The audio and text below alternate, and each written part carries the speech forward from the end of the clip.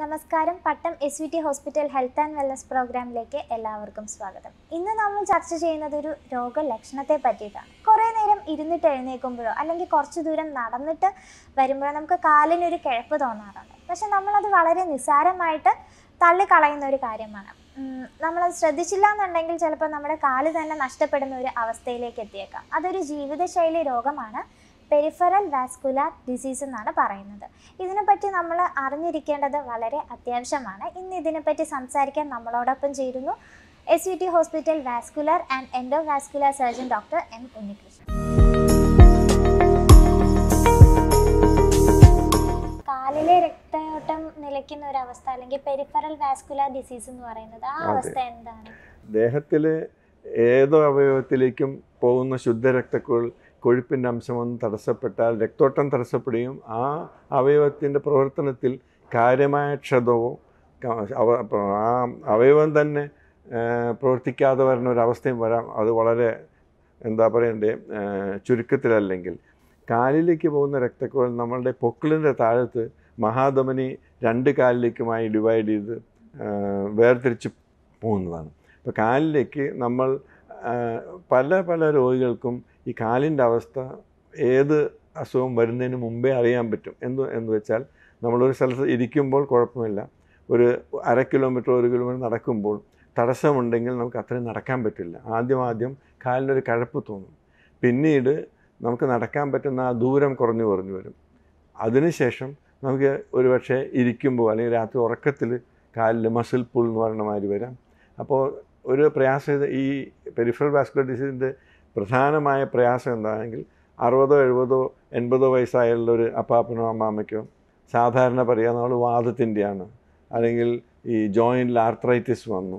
അപ്പോൾ അങ്ങനെയൊക്കെ നമുക്ക് ഈ ഇത് കൃത്യമായിട്ട് നമ്മൾ അത് രോഗികളോട് ചോദിച്ച് എന്താണെന്ന് മനസ്സിലാക്കി പരിശോധന കഴിഞ്ഞാൽ നമുക്ക് സിമ്പിൾ കാലുകൊണ്ട് ആ ബ്ലഡ് പോകുന്ന പൾസേഷൻ എന്ന് പറയും. അത് പരിശോധിച്ചാൽ തന്നെ നമുക്കറിയാൻ പറ്റും ഇവരുടെ ഈ വിഷമം രക്തോട്ടം കുറവാണ്? അപ്പം നമ്മൾ ശ്രദ്ധിച്ചില്ലെങ്കിൽ പിന്നെ കാലിൽ മുറിവ് വന്നാൽ ഉണങ്ങാതെ പോവും. സ്വയം തന്നെ തന്നെ മുറിവ് വരാം. പിന്നെ കാലിന്റെ വിരൽ അല്ലെങ്കിൽ പാദം കറുത്ത നിറമായി അതിൽ അതിന്റെ എന്താ പറയണ്ടേ പ്രവർത്തനം തന്നെ നമുക്ക് നടക്കാൻ ബുദ്ധിമുട്ട് വരാം. ചിലപ്പോൾ ചില രോഗികളെയൊക്കെ ഇവിടെ എടുത്തുകൊണ്ട് വന്നിട്ടുണ്ട് വീൽ ചെയർ വന്നിട്ടുണ്ട്. ദൈവം ഓപ്പറേഷൻ ചെയ്ത് ശരിയാക്കേണ്ട ആൾക്കാരാണ് മുകളിലും അത്രയും ബുദ്ധിമുട്ടായിട്ട് വരും. നമുക്കത് അതിന് അത് തക്കതായ ഓപ്പറേഷൻ ചെയ്ത് വാസ്കുലർ റീകൺസ്ട്രക്ഷൻ കൃത്രിമ രക്തക്കുഴൽ വെച്ചുള്ള ഓപ്പറേഷനാണ് ചെയ്യുക. ഇതിന് മുമ്പത്തെ സ്റ്റേജ് രോഗികൾ വരികയാണെങ്കിൽ നമുക്ക് ആ ബ്ലോ ആദ്യം ഡോപ്ലർ ടെസ്റ്റ് ഞാൻ പറഞ്ഞ മാതിരി. അതിനുശേഷം സി ടി ആൻജിയോഗ്രാമാണ് ഈ രക്തക്കുഴലിന്റെ അസുഖങ്ങൾ മനസ്സിലാക്കാൻ ഏറ്റവും പറ്റിയ നല്ല ടെസ്റ്റ്. അത് ചെയ്ത് നമ്മളൊരു പത്ത് സെന്റിമീറ്ററോ പന്ത്രണ്ട് സെന്റിമീറ്ററോ അതിൽ കുറവോ തടസ്സമോ പൂർണമായ തടസ്സമോ എൺപത് ശതമാനത്തിൽ തടസ്സമോ ഉണ്ടെങ്കിൽ നമുക്ക് കീ ഹോൾ സർജറി എന്ന് പറഞ്ഞ ആൻജിയോ പ്ലാസ്റ്റി ചെയ്യാം. വേണ്ടി വന്നാൽ മാത്രം സ്റ്റെൻഡിങ്ങും. അപ്പോൾ നമുക്ക് ഒരു വലിയൊരു ഓപ്പറേഷൻ ഒഴിവാക്കാം. അപ്പോൾ ചില ചില രോഗികൾക്ക് നമുക്ക് ഈ ജീവിതശൈലി കൺട്രോൾ അത് അതിന് വേണ്ടിയുള്ള മരുന്നുകൾ നമ്മൾ പ്രമേഹത്തിനുള്ള മരുന്നുകൾ ബി പിയുടെ മരുന്നുകൾ പുകവലി ഉണ്ടെങ്കിൽ അത് നിർത്തുക. പിന്നെ ഗ്രേഡഡ് എക്സസൈസ് എന്ന് പറയും. അവരോട് ഒരു നിങ്ങൾ പല ഡോക്ടർമാരിവിടെ വന്ന് രോഗികളെ ഞങ്ങളോട് പറഞ്ഞിട്ടുണ്ട്. കാൽ ബ്ലോക്കാണ് നടക്കരുതെന്ന് അത് വളരെ തെറ്റായ ഒരു ധാരണയാണ്. നമ്മൾ ഇരിക്കും തോറും കൂടുതൽ ആ രക്തോട്ടം കുറഞ്ഞു കുറഞ്ഞു വരും. നമ്മൾ പറ്റാവുന്ന ദൂരം പത്തടി ഇരുപതടി ഇങ്ങനെ നടക്കുക ഈ മരുന്നുകൾ കഴിക്കുക. ചില രോഗികൾക്ക് ഈ സ്റ്റേജ് വരുമ്പോൾ അവർക്ക് എന്തെങ്കിലും ചെയ്യണം. അര കിലോമീറ്റർ ഒരു കിലോമീറ്റർ നടന്നാൽ കാലിൽ ഈ പ്രയാസം വരുമ്പോൾ നമുക്ക് മരുന്നുകൊണ്ട് ചികിത്സിച്ച് മാക്സിമം നോക്കി ഇമ്പ്രൂവ്മെന്റ് അതിനുള്ള എന്താ പറയേണ്ട അവരുടെ രോഗാവസ്ഥ കൺട്രോൾ സ്റ്റാറ്റസ് ആയിട്ട് ബുദ്ധിമുട്ടില്ലാതെ വരും. ചില ആൾക്കാർക്ക് മാത്രം അത് അസുഖം വർദ്ധിച്ച് വർദ്ധിച്ച് തീരെ നിസ്സഹായാവസ്ഥയിൽ വരുമ്പോഴാണ് നമ്മൾ ഓപ്പറേഷൻ ചെയ്യാൻ പ്ലാൻ ചെയ്യുക. അതിനു മുമ്പ് ഡോപ്ലർ ടെസ്റ്റും സ്കാൻ സി ടി ആൻജിയോഗ്രാം ചെയ്ത് നമുക്കറിയാൻ പറ്റും. ആവശ്യമാണെങ്കിൽ മാത്രം ആവശ്യമുള്ള രോഗികൾക്ക് നിങ്ങൾ ആൻജിയോപ്ലാസ്റ്റി അല്ലെങ്കിൽ സ്റ്റെൻഡിങ് ചെയ്യും. അത് പറ്റാത്ത സ്ഥിതിയോ അതല്ലെങ്കിൽ അത് ചെയ്തിട്ടും ശരിയാവാത്ത സ്ഥിതിയിൽ മാത്രമേ തുറന്നൊരു ശസ്ത്രക്രിയ അവർക്ക് വേണ്ടി വരുള്ളൂ. ഇതിൽ പ്രത്യേകത എന്താണെന്ന് വെച്ചാൽ ഈ രക്തോട്ടം വളരെ മോശമായ അവസ്ഥയിൽ വരികയോ ഓപ്പറേഷൻ ചെയ്യാൻ രോഗി തക്ക സമയത്ത് വരികയോ ചെയ്യില്ലെങ്കിൽ അവർക്ക് നടക്കാൻ തന്നെ ബുദ്ധിമുട്ട് വരും പാദം തന്നെ നഷ്ടപ്പെടുന്ന ഒരവസ്ഥയും വരാം. പലർക്കും പല ലെവലിൽ വെച്ചാണ് നമ്മൾ ഈ കാൽ നഷ്ടപ്പെടുക. കൃത്രിമക്കാലുണ്ടെങ്കിലും പല രോഗികൾക്കും അത് വെച്ച് കൂടുതൽ ആ പഴയ സ്വാതന്ത്ര്യവും പഴയ ജീവിത രീതിയും തിരിച്ചു കിട്ടാൻ വൈകും. അത് അതുകൊണ്ട് ഇതിന്റെ തുടക്കം മുതലേ രോഗികൾ വരികയാണെങ്കിൽ നമുക്ക് പരിശോധന ചെയ്ത് ടെസ്റ്റ് ചെയ്ത് അതിന് വേണ്ടതായ ചികിത്സ കൊടുക്കാൻ പറ്റും. അല്ലെങ്കിൽ ജീവിതം തന്നെ മാറ്റിമറിക്കാവുന്ന ഒരു അവസ്ഥ നമുക്ക് ഒരു കാൽ പോയാൽ കുഴപ്പമില്ല. രണ്ട് കാലും പോയാൽ പിന്നെ നമുക്ക് കൃത്രിമ കാൽ വെച്ച് തന്നെ നടക്കാൻ പറ്റാം. ഈ രണ്ട് രോഗികളാണ് രോഗങ്ങളാണ് പക്ഷാഘാതത്തിന്റെ അസുഖം പിന്നെ കാലിലേക്കുള്ള രക്തോട്ടം നിയന്ത്രിക്കുന്ന ഇത് ഈ രണ്ട് ഗ്രൂപ്പിൽപ്പെട്ട പേ രോഗികളാണ് എന്റെ അടുത്ത് കൂടുതലും വരുന്നത്. അതേപോലെ ഈ വൃക്ക സംബന്ധമായി എല്ലാ ഓപ്പറേഷൻ വരും. അത് രക്തോട്ടം നമ്മൾ സ്റ്റെൻഡിങ് ചെയ്യാം ഓപ്പറേഷൻ ചെയ്യാം. അല്ലെങ്കിൽ അവർക്ക് ഡയാലിസ് ചെയ്യാനായിട്ട് എ വി ആക്സസ് എന്ന് പറയും. ആ രക്ത ശുദ്ധരക്തക്കുള്ള നഷ്ടത്തിനും തിരിച്ചിട്ടുള്ള ഓപ്പറേഷൻ അത് കണക്ട് ചെയ്യുന്നത്. പിന്നെ കുടൽ സംബന്ധമായി വരും വരും പിന്നെ ചില രോഗികൾ വരുന്നത് മഹാധമനിയുടെ വീർമതമുണ്ട് അത് വീർത്ത് വീർത്ത് ബലൂൺ മാരി വന്ന് ഒരു പക്ഷേ അതിനോ ചെറിയൊരു പൊട്ടലോ ചിറ്റലോ വന്നു കഴിഞ്ഞാൽ പെട്ടെന്ന് തന്നെ രോഗിക്ക് എന്തെങ്കിലും പ്രയാസം വരും. ആ അസുഖത്തിനും ഓപ്പറേഷനും ഓപ്പറേഷൻ കൂടാതെ കീ ഹോൾ സർജറി നമ്മൾ ഒരു സ്റ്റെൻ സ്റ്റെൻ ഗ്രാഫ്റ്റ് എന്ന് പറഞ്ഞ ഒരു ഇതുണ്ട്. അത് ഉള്ളിൽ കൊട മാതിരിയാണ് നമ്മുടെ അത് അവിടെ ഉള്ളിൽ ചെന്ന് കഴിഞ്ഞാൽ അത് വികസിച്ച് രക്തോട്ടം ഈ ഇതിന്റെ ഭിത്തിയിലേക്ക് വരാതെ ഈ ഈ പുതിയ സ്റ്റെൻ ഗ്രാഫ്റ്റേക്കിടെ രക്തം പ്രവഹിക്കുകയും രക്ഷപ്പെടുത്താനും പറ്റും. പിന്നെ വാസ്കുലർ സർജറി ഇന്ന് ഇതുകൂടാതെ പല ഡിപ്പാർട്ട്മെന്റിലും പല രോഗികൾക്കും വാസ്കുലർ സർജൻ വാസ്കുലർ സർജറി ഉപയോഗിക്കേണ്ടി വരും. അതുകൊണ്ട് വാസ്കുലർ ഓപ്പറേഷൻസ് പ്രത്യേകിച്ച് ശുദ്ധരക്തക്കുഴലിന്റെ വളരെ കൂടിയ ഒരു അവസ്ഥയാണ് നമ്മൾ കാണുന്നത്. അതിന് നമുക്ക് കുറേ കുറേ തടയാൻ പറ്റും. പലപ്പോഴും കീഹോൾ സർജറി ചെയ്യാൻ പറ്റും. അത് പറ്റിയില്ലെങ്കിൽ പിന്നെ നമുക്ക് അവസാനത്തെ കൈ നിലയ്ക്ക് ഓപ്പറേഷനും ചെയ്യേണ്ടി വരും. അല്ലെങ്കിൽ രോഗിക്ക് അവയവമോ ജീവൻ തന്നെയോ നഷ്ടപ്പെടാനുള്ള ഒരു സാധ്യത കാണുന്നു. ഡോക്ടർ പെരിഫറൽ വാസ്കുലർ ഡിസീസിന്റെ ലക്ഷണങ്ങൾ എന്തൊക്കെയാണ്? ഏതൊരു സ്റ്റേജിൽ എത്തുമ്പോഴാണ് നമ്മളിപ്പോൾ ഡോക്ടറെ കൺസൾട്ട് ചെയ്യേണ്ടത്? നല്ലൊരു ചോദ്യമാണ്.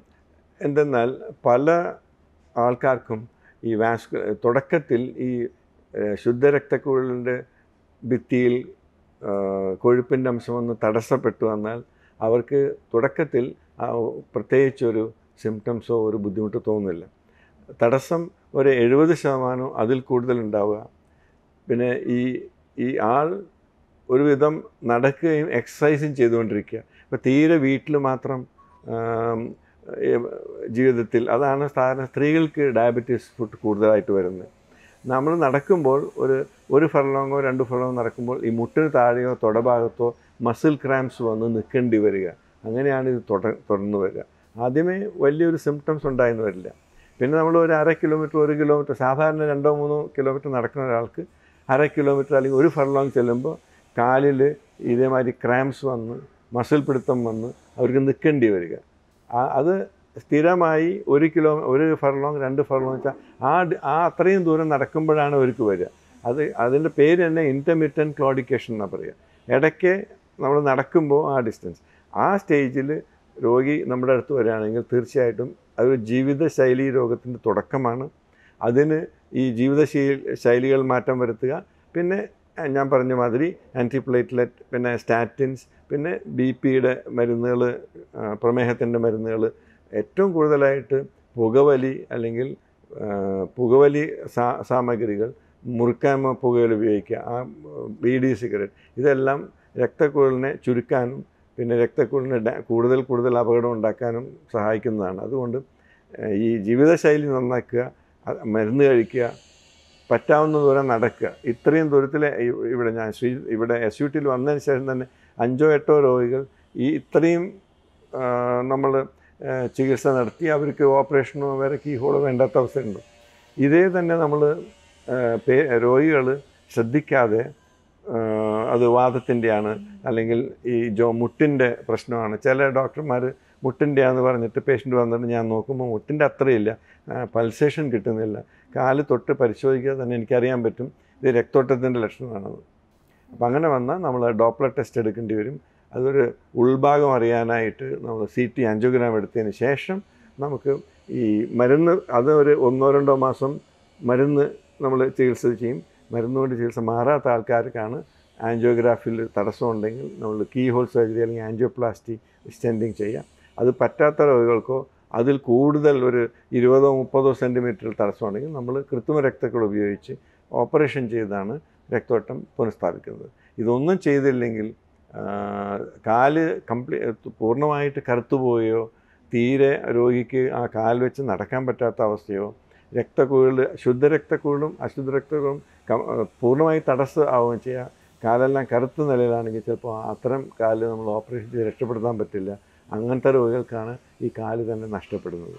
അപ്പൊ ജീവിതശൈലി രോഗത്തിനെ പറ്റി ഇത്രയധികം സംസാരിച്ചതിൽ വളരെയധികം നന്ദി ഡോക്ടർ ഇത്തരം രോഗലക്ഷണങ്ങൾ കാണുമ്പോൾ ഡോക്ടറെ എത്രയും വേഗം കൺസൾട്ട് ചെയ്യുക. ഒരു മരുന്ന് കൊണ്ട് മാറാവുന്ന ഒരു അസുഖമായിരിക്കാം. ചിലപ്പോൾ നമ്മൾ കറക്റ്റ് സമയത്ത് ഡോക്ടറെ കണ്ടില്ല എന്നുണ്ടെങ്കിൽ നമ്മുടെ ഒരു അവയവം തന്നെ നഷ്ടപ്പെടാം. അല്ലെങ്കിൽ നമ്മുടെ ജീവൻ തന്നെ ഒരു ആപത്തായിട്ട് വരുന്ന ഒരു സ്റ്റേജ് എത്താം. അത്രയും നമ്മൾ വെച്ച് താമസിപ്പിക്കാതെ ലക്ഷണങ്ങൾ കാണുമ്പോൾ ഡോക്ടറെ കാണുക. ഇനി അടുത്തൊരു വിഷയമായി വരുന്നത് വരെ എല്ലാവരും ആയുരാരോഗ്യ സഖ്യത്തോടെ ഇരിക്കും.